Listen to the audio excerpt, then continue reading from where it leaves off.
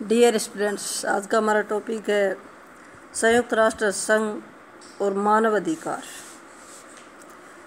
अधिकार सामाजिक जीवन की अनिवार्य आवश्यकता है, जिसके बिना न तो व्यक्ति अपने व्यक्तित्व का विकास कर सकता है और नई समाज के लिए उपयोगी कार्य कर सकता है। लोस्की के शब्दों में कहें तो अधिकार वे सामाजिक परिस्थितियाँ हैं जिनके बिना कोई व्यक्ति अपना पूर्ण रूप से विकास नहीं कर सकता है। अधिकारों के बिना मानव जीवन के अस्तित्व की कल्पना भी नहीं की जा सकती है। अधिकार व्यक्ति अथवा व्यक्ति समूह के, समूह की समाज से एक मांग है, परंतु कोई भी मांग तब तक अधिकार नहीं बन जाती है, जब तक उसे समाज की मान्यता प्राप्त न हो जाए। इन अधिकारों की रक्षा का दायित्व राज्य का होता है और राज्य के लोकतांत्रिक तथा कल्याणकारी राज्य का मुख्य लक्ष्य व्यक्ति के व्यक्तित्व का विकास करना है। राज्य के द्वारा व्यक्ति को प्रदान की जाने वाली सुविधाओं को यह अधिकार कहा जाता है। अमेरिकन तथा फ्रांसीसी क्रांतियों के पश्चात मानव अधिकारों की घोषणा हुई, जिसमें मानव अधिकारों के बारे में कुछ वर्णन था।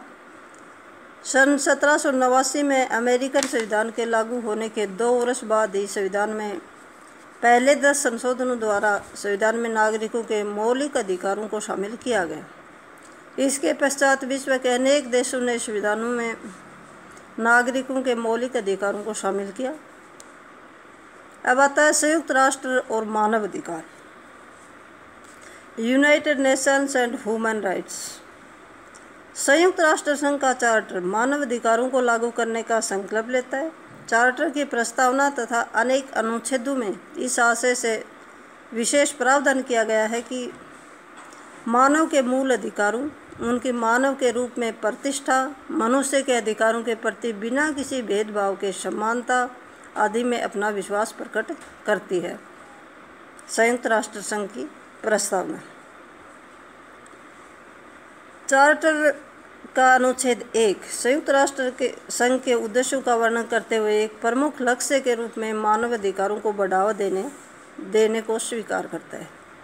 इस अनुच्छेद के अनुसार संयुक्त राष्ट्र संघ एक उद्देश्य का एक उद्देश्य है कि बिना किसी भेदभाव के सबके लिए मानव अधिकार व मूल स्वतंत्रताओं के सम्मान को प्रोत्साहित किया जाएगा। संयुक्त राष्ट्र संघ का चार्टर मानव अधिकारों को लागू करने का उत्तरदायित्व अपने दो अंगों, साधारण सभा और आर्थिक एवं सामाजिक परिषद को सीधे तौर पर सौंपता है। अनुच्छेद तेरह बी साधारण सभा को निर्देश देता है कि ऐसे अध्ययनों एवं सुझावों के लिए पहल करें, जिससे अंतर्राष्ट्रीय सहायता जुटाकर मानव अधिकारों को समर्थन दिया जा सके।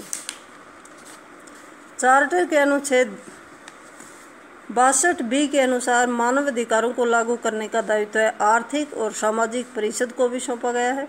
यह परिषद समय समय पर अंतर्राष्ट्रीय सम्मेलनों के माध्यम से ऐसे प्रस्ताव तैयार करेगी जिससे इन अधिकारों को प्रोत्साहित किया जा सके। संयुक्त राष्ट्र संघ के कर्तव्यों का वर्णन करते हुए चार्टर के अनुच्छेद पिचपन में मानव अधिकारों की ओर सभी सदस्य राष्ट्रों का ध्यान रखा, ध्यान आकर्षित करता है तथा राष्ट्रों से इन अधिकारों का सम्मान करने और उन्हें अपने अपने राज्य में लागू करने का आग्रह भी करता है। Thank you